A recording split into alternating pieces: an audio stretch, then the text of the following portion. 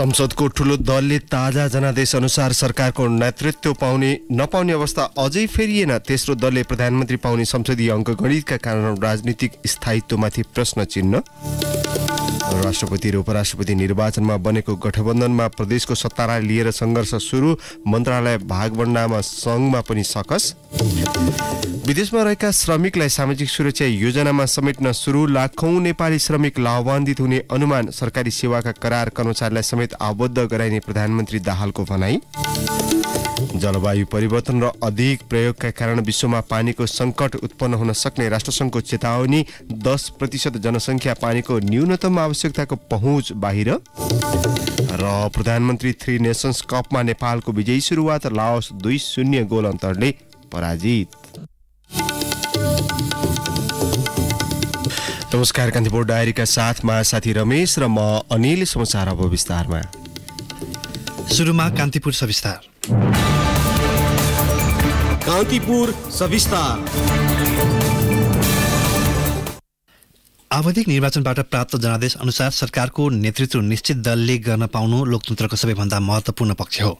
ठूलो दलले सरकार चलाउनु र अन्य दल प्रतिपक्षमा बस्नु संसदीय व्यवस्थाको मूल्य मान्यता हो। तर नेपालको हकमा विगतदेखि नै त्यसो हुन सकेको छैन अर्थात् जनमतको कसीमा कमजोर भएका दलहरूले नै पटक पटक संसदीय अङ्कगणितका आधारमा सरकारको नेतृत्व हत्याएका छन्। जसको ताजा उदाहरण हो दुई हजार उनासी मङ्सिरको निर्वाचनबाट तेस्रो दलमा खुम्चिएको माओवादी केन्द्र सत्ताको नेतृत्वमा पुग्नु। यस्तै परिस्थितिका कारण मुलुकमा राजनीतिक स्थायित्व नहुने अवस्था सिर्जना हुँदै गएको छ।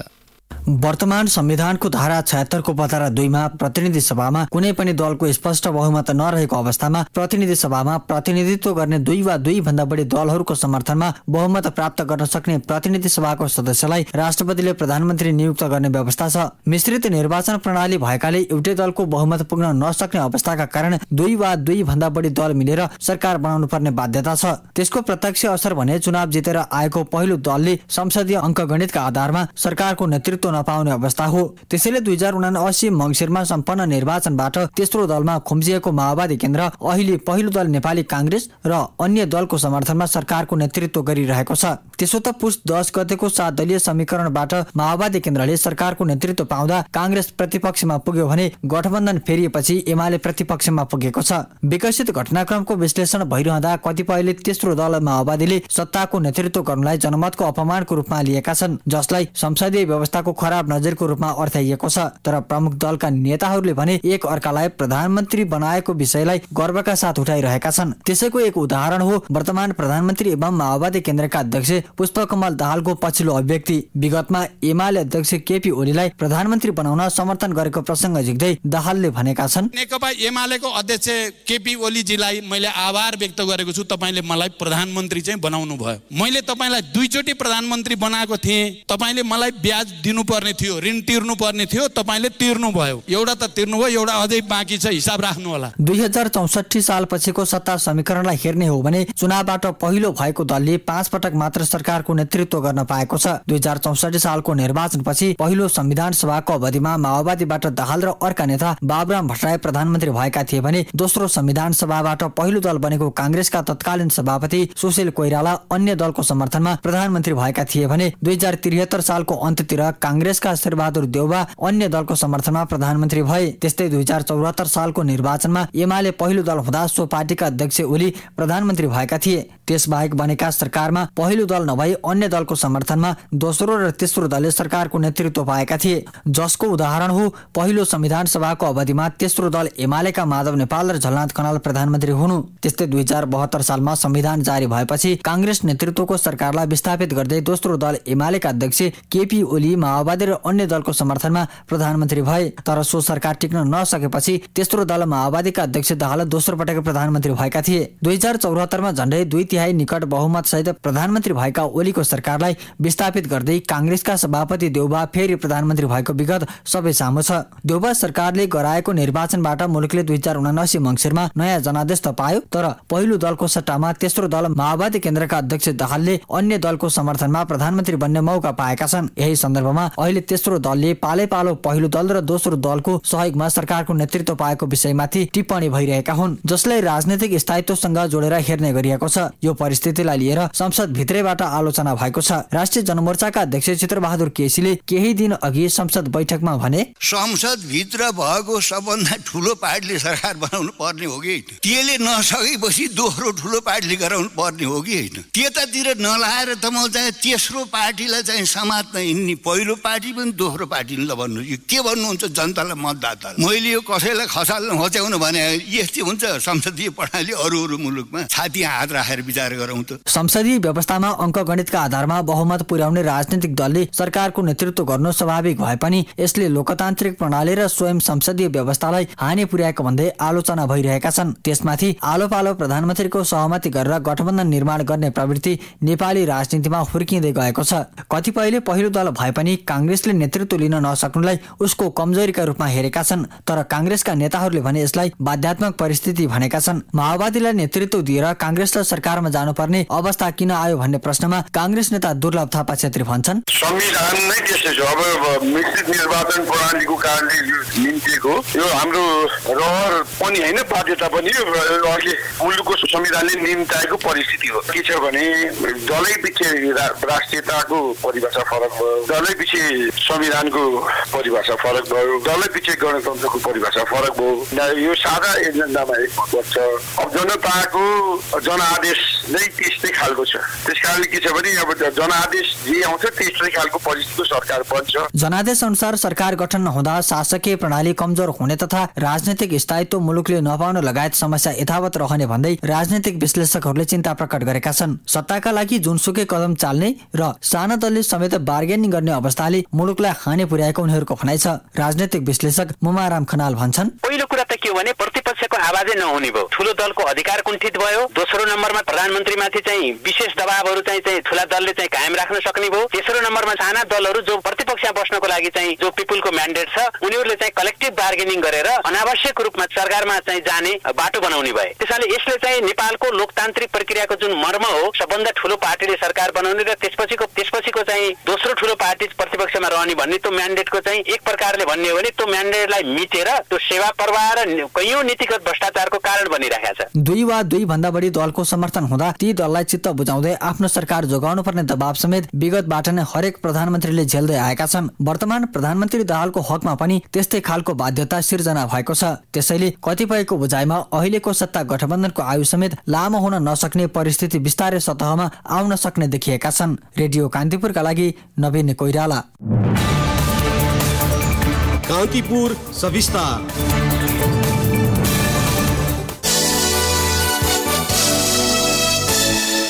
राष्ट्रपति उपराष्ट्रपति निर्वाचनमा बनेको नयाँ गठबन्धनभित्र प्रदेशको सत्तालाई लिएर सङ्घर्ष सुरु भएको छ। एमाले मुख्यमन्त्री भएको प्रदेशको नेतृत्व लिन कंग्रेस माओवादी केन्द्र र एकीकृत समाजवादी बीच होड चलिरहेको छ।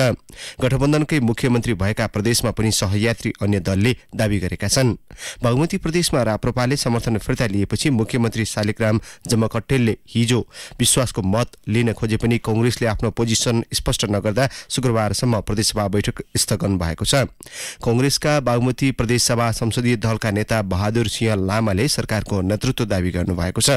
कंग्रेस प्रमुख सचेतक कुन्दन राज काफ्लेले प्रदेशसभाको सबैभन्दा ठूलो दलको हैसियतले स्वाभाविक रूपमा सरकारको नेतृत्व दावी गरिएको बताउनुभयो लामासँग संसदीय दलको नेतामा प्रतिस्पर्धा गरेका प्रदेश सभापति इन्द्रबहादुर बानिय समूह भने जम्मा कट्टेललाई विश्वासको मत दिएर सरकारमा सहभागी हुनुपर्ने पक्षमा छ। कंग्रेसको मंगलबार बसेको प्रदेश कार्य सम्पादन समिति बैठकले जम्मा कट्टेलको पक्षमा विश्वासको मत दिन निर्देशन दिएको थियो तर दलका नेता लामाले मुख्यमन्त्रीमा दावी गरेपछि सत्ता गठबन्धनमा समस्या सृजना भएको हो। माओवादी केन्द्रका मुख्यमन्त्री रहेका कर्णालीमा समेत कंग्रेसले सरकारको नेतृत्व दावी गरेको छ। चुनावी गठबन्धन बिउतिएपछि सुरुमा सरकारको नेतृत्व कंग्रेसले गर्नुपर्ने संसदीय दलका नेता जीवनबहादुर शाहीले बताउनुभयो। कर्णालीमा अहिले एमालेको समर्थनमा माओवादी केन्द्रका राजकुमार शर्मा मुख्यमन्त्री हुनुहुन्छ। छ मन्त्रालय मध्ये माओवादी केन्द्रले मुख्यमन्त्री सहित तीन र एमाले पनि तीन मन्त्रालय दावी गरे तीन मन्त्रालय सम्हालेका छन्। जसपाको नेतृत्व रहेको मध्य प्रदेशमा जनमत पार्टीले मुख्यमन्त्री दावी गरेको छ। गत पुष दसमा एमाले सहितको गठबन्धन बन्दा जसपा र जनमत बीच सरकारको नेतृत्व आधा आधा कार्यकाल गर्ने सहमति भएको थियो। जनमतलाई दलको समर्थनमा हाल जसपाका सरोज कुमार यादव मुख्यमन्त्री हुनुहुन्छ। जनमत पार्टीका सचेतक समेत रहेका पार्टी महासचिव चन्दन कुमार सिंहले कङ्ग्रेस सहितको नयाँ गठबन्धन बनेकाले मधेसमा पनि सरकारको नेतृत्व नयाँ ढङ्गले चुन्नुपर्ने बताउनुभयो महासचिव सिंहले गठबन्धनको अन्य सबै दल पनि मधेसमा मुख्यमन्त्री परिवर्तन गर्न सहमत हुने दावी गर्नुभयो। यसैबीच सत्ता गठबन्धनका प्रमुख दलहरू मन्त्रालय भागभण्डाको औपचारिक छलफलमा जुटेका छन्। प्रदेश सरकारको नेतृत्व र पुनर्गठन सहित एकमुष्ट सहमति गरेर संघीय मन्त्री परिषद विस्तार गर्ने नेताहरूको योजना छ। कुन दलले कति मन्त्रालय पाउने र कुन कुन मन्त्रालय पाउने भन्ने विषयमा बुधबार गठबन्धनका प्रमुख चार दलका शीर्ष नेताबीच छलफल भए पनि निष्कर्षमा पुग्न बाँकी रहेको नेताहरूले जनाएका छन्। प्रधानमन्त्री निवास बालोटारमा बसेको बैठकमा मन्त्री परिषद विस्तारमा प्रारम्भिक छलफल मात्रै भएको कङ्ग्रेस नेता रमेश लेखकले बताउनुभयो। उहाँले भन्नुभयो सरकार विस्तार गर्ने विषयमा प्रारम्भिक छलफल भएको छ। आवश्यकता अनुसार अर्को बैठक बस्छ।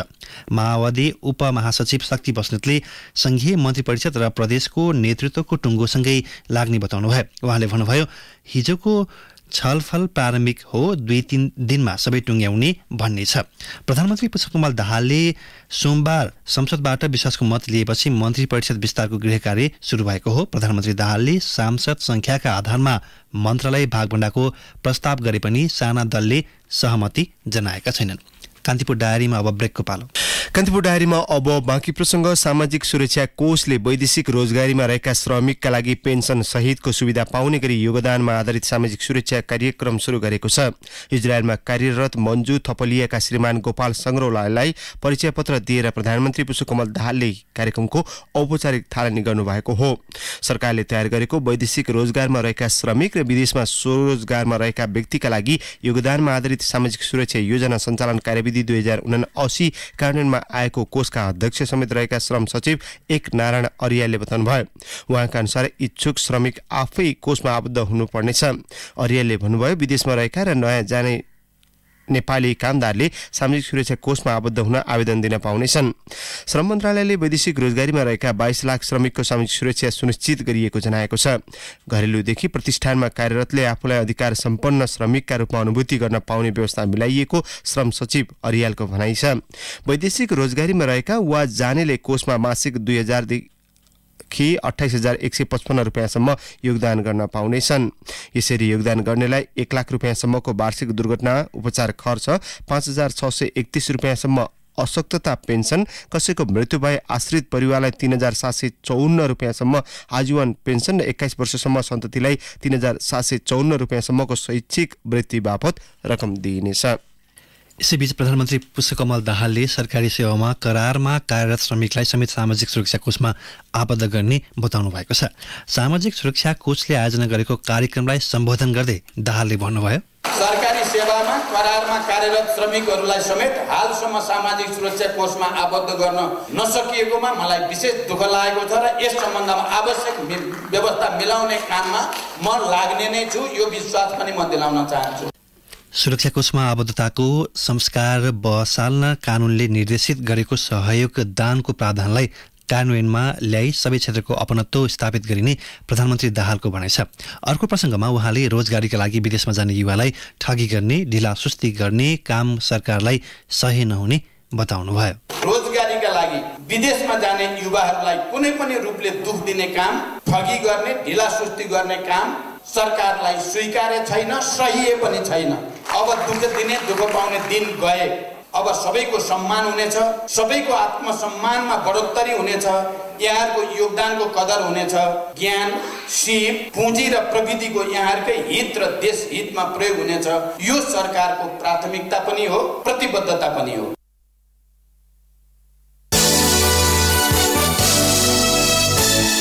सत्तारूढ गठबन्धनमा आबद्ध राजनीतिक दलका सांसदले सभामुखको अधिकार कटौती गर्नुपर्ने प्रस्ताव गरेका छन्।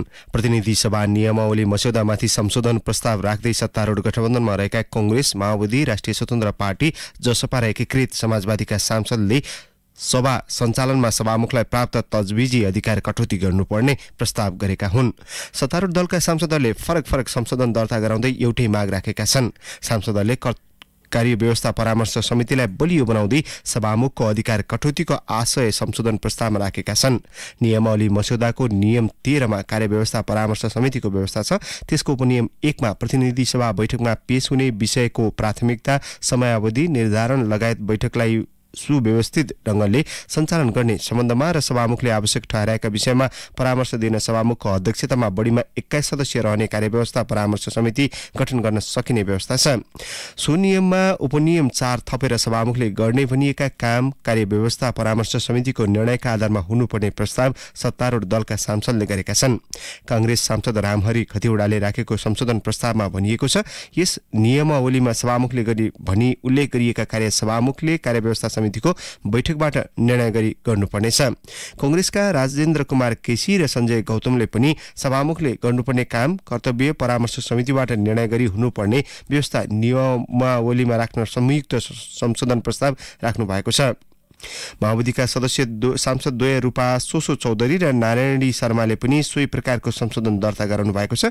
माओवादी सांसद माधव सापकोटाले बैठक सञ्चालनका सन्दर्भमा सभामुखको काम कारवाही काम कार्यव्यवस्था परामर्श समितिले तय गर्नुपर्ने संशोधन प्रस्ताव दर्ता गराउनु भएको छ। राष्ट्रिय स्वतन्त्र पार्टीका प्रमुख सचेतक सन्तोष परियारले सभामुखलाई त्यसरी दिइएको तजविजी अधिकार कटौतीको व्यवस्था राख्नुपर्ने संशोधन दर्ता गराउनु भएको छ। एमालेका दामोदर पौडेल बैरागीले भने सभामुखले कार्यव्यवस्थाको परामर्श लिने व्यवस्था हटाउनुपर्ने संशोधन प्रस्ताव दर्ता गराउनु भएको छ। दलित समुदायमाथिको विभेद र उत्पीडन अन्त्य गरी सामाजिक सांस्कृतिक आर्थिक राजनीतिक समानता समृद्धि र सामाजिक न्याय सुनिश्चित गर्ने सम्बन्धी संकल्प प्रस्ताव राष्ट्रिय सभाबाट पारित भएको छ। राष्ट्रिय सभाको हिजोको बैठकले हाल प्रचलनमा रहेका कानूनको प्रभावकारी कार्यान्वयनका लागि सरकारलाई जिम्मेवार बनाउन संकल्प प्रस्ताव पारित गरेको हो। दलित समुदायका विभेद र उत्पीडन अन्त्य गरी सामाजिक सांस्कृतिक आर्थिक राजनीतिक समानता समृद्धि र सामाजिक न्याय सुनिश्चित गर्ने सम्बन्धी पारित संकल्प प्रस्ताव कार्यान्वयन गर्न सरकारलाई निर्देशन पनि दिएको छ।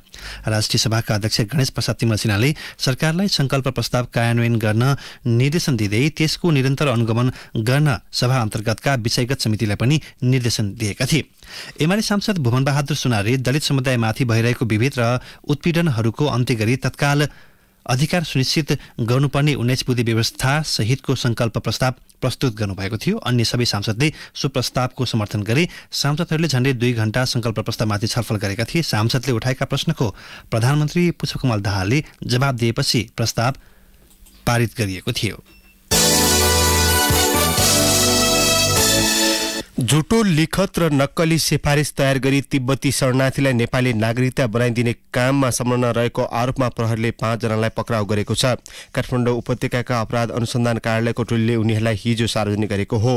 पक्राउ पर्नेमा झापाको कचन कवल तिनका सत्तालिस वर्षीय कृष्णबहादुर कटुवाल काठमाडौँ एघारका सत्तरी वर्षीय न्युल केश श्रेष्ठ मोरङ सुन्दर हरैचा तिनका उनपचास वर्षीय हिरालाल शिवाकोटी तनहुको शुक्ला गण्डकी आठका पच्चिस वर्षीय लोभसाङ ठिनले र ललितपुर गोदावरी सातका तीस वर्षीय विजय लामा छन्। उनीहरूले काठमाडौँको बबर महलमा बसेर सरकारी कार्यालयको कागजात छाप तथा कर्मचारीको दस्तखत कृत्य गरी गैर नेपालीलाई सक्कली नेपाली नागरिकता बनाइदिने गरेको कार्यालयका प्रवक्ता एसपी सोमेन्द्र सिंह राठौडले बताउनुभयो। वातावरणीय मापदण्ड पालनाको सम्बन्धमा धेरैजसो उद्योग प्रतिष्ठान एवं आयोजनाले सो अनुगमन प्रतिवेदन नबनाउने गरेको पाइएको छ। वातावरण संरक्षण नियमावली दुई हजार सतहत्तरले वातावरणमा परेको प्रभावको विषयमा सो अनुगमन प्रतिवेदन बनाउनु पर्ने उल्लेख छ। सो नियमावलीको दफा पैँतालिसमा प्रस्तावको निर्माण तथा सञ्चालनको सञ्चालन गर्ने चरणमा सोबाट वातावरणमा परेको प्रभावको विषयमा हरेक छ छ महिनामा सो अनुगमन प्रतिवेदन विभागमा पेश गर्नुपर्ने उल्लेख छ। वातावरण विभागले उद्योग प्रतिष्ठान एवं आयोजनाहरूले सो अनुगमन प्रतिवेदन नबुझाएको भन्दै सूचना निकालेको छ। विभागले ध्यानकर्षण भएको जनाउँदै नियमावलीमा भएको व्यवस्था बमोजिम प्रतिवेदन तयार गरेर बुझाउन भनेको हो। वातावरण संरक्षण ऐन दुई हजार छहत्तरको दफा पन्ध्रले विभागलाई वातावरणीय मापदण्ड पालनाको सम्बन्धमा अनुगमन तथा मूल्याङ्कन गर्ने अधिकार दिएको छ।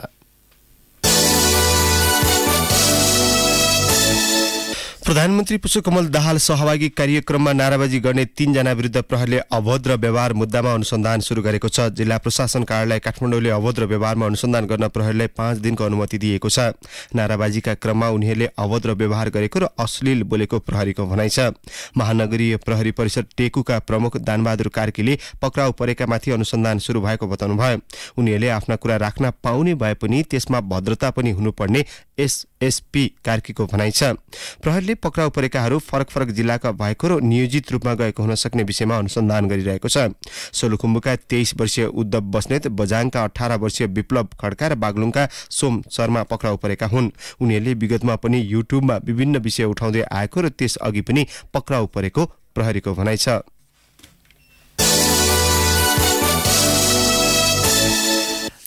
कान्तिपुर पब्लिकेसन्सको सहप्रकाशन नारी मासिकले निर्भीक नारी श्रृङ्खला चैत पन्ध्रमा आयोजना गर्ने भएको छ। प्रकाशनले दुई वर्षदेखि गर्दै आएको कार्यक्रममा यसपटक स्वस्थ महिला सबैमा पहिला युवा दृष्टिकोण प्रविधिमा अब्बल जीवनमा सबल र अवरोधहरू छिचोल्दै उडान शीर्षकमा चार सत्र सञ्चालन हुनेछन्। कार्यक्रमले महिलालाई उत्प्रेरणा दिने कान्तिपुर पब्लिकेसन्सका मार्केटिङ म्यानेजर सागर केसीले बताउनुभयो। कान्तिपुर डायरीमा पुनः ब्रेकको पालो।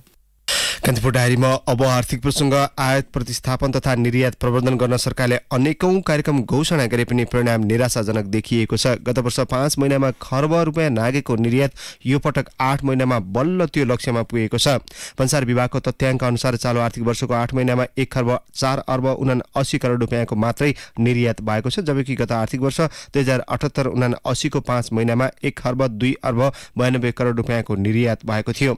मुलुकको निर्यात व्यापार प्रशोधित पाम तेल र भटमासको प्रशोधित तेलमा निर्भर हुँदै आएको छ। यी दुई वस्तुको निकासी घटबढकै आधारमा समग्र निर्यात घट्ने र बढ्ने गरेको भन्सार विभागले जनाएको छ। भन्सार विभागका एक अधिकारी भन्छन् कच्चा पदार्थका रूपमा तेस्रो मुलुकबाट आयात हुने यी दुई वस्तुले निर्यात व्यापारमा भूमिका खेलेको छ। चालु आर्थिक वर्षको आठ महिनामा प्रशोधित पाम तेलको निर्यात सन्ताउन्न प्रतिशत र भटमासको प्रशोधित तेलको निर्यात उना अस्सी प्रतिशतले घटेको छ जसले गर्दा खर्बको निर्यात पुर्याउन आठ महिना लागेको हो। कान्तिपुर डायरीमा अब अन्तर्राष्ट्रिय प्रसङ्ग जलवायु परिवर्तन र अधिक प्रयोगका कारण विश्वमा पानीको सङ्कट उत्पन्न हुने संयुक्त राष्ट्रसङ्घले चेतावनी दिएको छ। विकासक्रमसँगै अत्यधिक प्रयोग हुँदा पानीका स्रोत सुक्न थालेकाले निकट भविष्यमै पानीको अति सङ्कट हुने राष्ट्रसङ्घले अँगुडाएको छ। सन् उन्नाइस सय सतहत्तर पछि पहिलो पटक भएको राष्ट्रसङ्घीय सम्मेलनले स्थानीय स्तरमा पानीको सङ्कट उत्पन्न भइसकेको उल्लेख छ।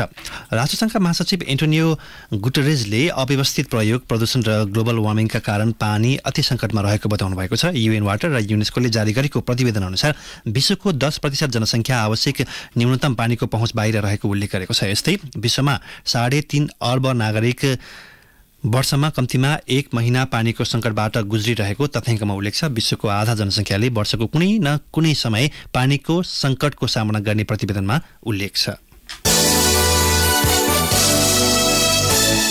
कान्तिपुर डायरीमा अब खेल प्रसङ्ग प्रधानमन्त्री थ्री नेसन्स कपमा नेपालले विजयी सुरुवात गरेको छ। प्रतियोगिता अन्तर्गतको पहिलो खेलमा नेपालले लाओसलाई दुई शून्य गोल अन्तरले पराजित गरेको हो।